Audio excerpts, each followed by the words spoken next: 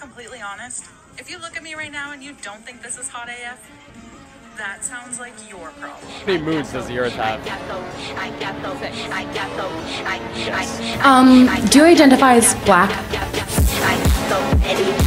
No, it's a serious question. You might not identify. What would you do if I broke into your house? In this episode of Fat Phobia on TikTok, I take on the. 何をしただ。